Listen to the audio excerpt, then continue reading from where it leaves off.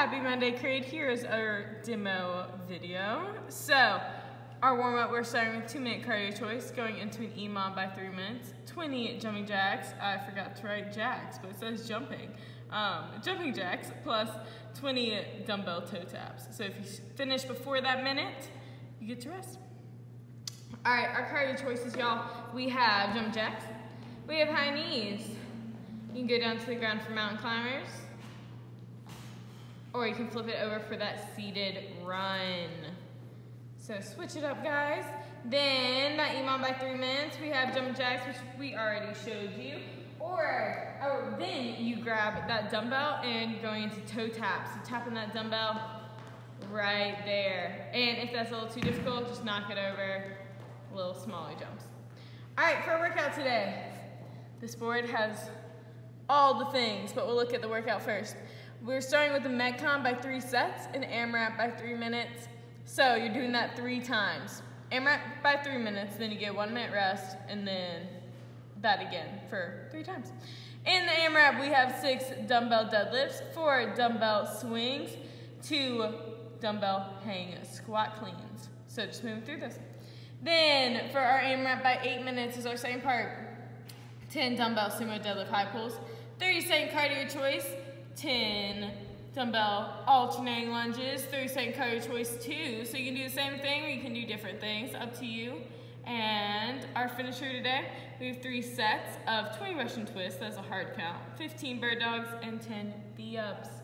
All right, our dumbbell deadlifts. Remember, we want to peel those shoulders back and keep them back. Even when we're in the bottom, keep that nice neutral spine.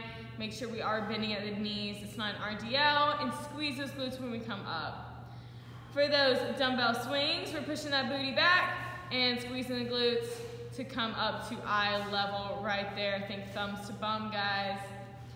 And then lastly, two hang squat cleans. So going into a hang clean right above the knees, going right into that squat right there, gang. Making sure we're staying big and explosive with that hang clean. Sumo deadlift high pulls. Hold in the middle of that dumbbell, and sumo means wide legs. We're going down to mid shin, and then pop of the hips to get that dumbbell underneath your chin. You wanna finish with elbows higher than wrist, and you're being explosive on the way up, keeping a straight line for that path. Cardio choices, y'all know those. We already showed those.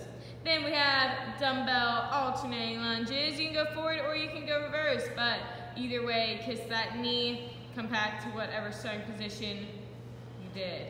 Right there, guys. So up to you, you get to choose. Finally, our, and then you have that cardio twist again. And then finally, our finisher. 20 hard count Russian twists. Make sure those feet are off the ground and we're fully twisting right there. And if you absolutely have to, you can rest your heels, but make sure you're leaning back, guys. If you're sitting up straight and doing this, you're doing nothing. You're doing absolutely nothing for your core, and we want to work our core today. All right, our bird dogs. We're starting in a bear crawl hold, or bear crawl position, excuse me. And it's opposite hand, opposite foot making an X with their body and should stay in a line. You want to stay controlled with these guys. If there was some water on your back, I want to stay still. So you don't want to tumble over and get a good glute squeeze there and just stabilization of the core. Closer your hands and knees are together, more difficult it's going to be. Further away, the easier. So play around with that, see what is best for you. And lastly, we have V-ups. So throwing those arms first, and going up, touching those feet, touching those shoelaces. And knock them out, gang. Fish out strong. Happy Monday. Go crush it.